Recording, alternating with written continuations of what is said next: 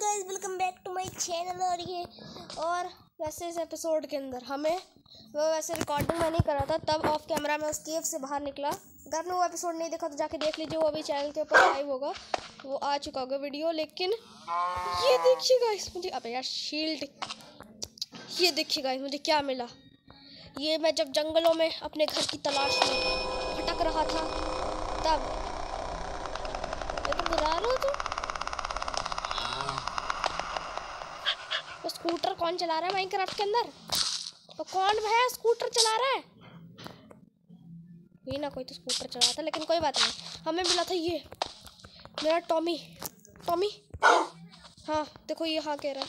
Tommy Tommy मेरे प्याले Tommy बे Tommy Tommy Tommy Tommy Tommy Tommy Tommy Tommy Tommy मैं तो टॉमी टॉमी टॉमी टॉमी हाँ Tommy Tommy मेरे पहले टॉमी हाँ तो गाइस तो मैं इस एपिसोड के अंदर मैं सोच रहा हूँ शुगर केन फार्म बना लूँ और एक ड्रिफ्ट स्टोन फार्म पता नहीं क्या होगा, लेकिन हम ये फार्म बनाएँगे। और टॉमी तुम यहीं पर रहोगे। टॉमी ये तुम्हारी अच्छी जगह है।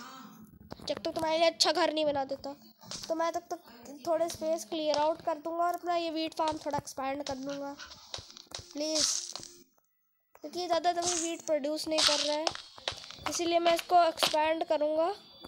नीचे की तरफ़ से ये बनेगा हमारा शुगर केन फार्म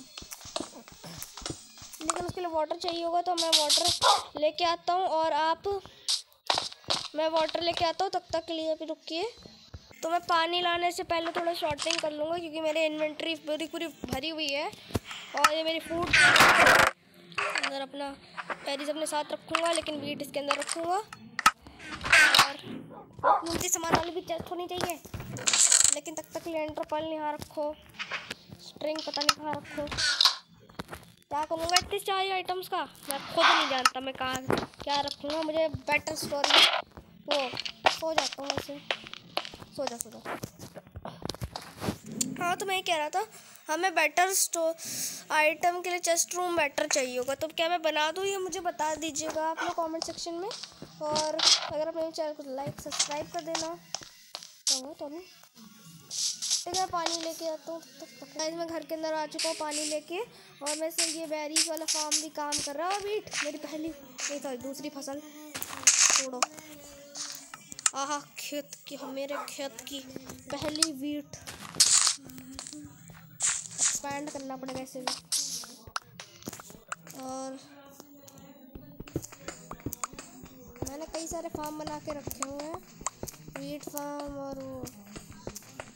क्योंकि ये सारे सारे फार्म्स मेरे फ़ूड सप्लाईज में हेल्प करेंगे। और कभी कभार मेरे ऐसे हेल्प करेंगे तो मैं आपको रूम डिग करने के बाद आपको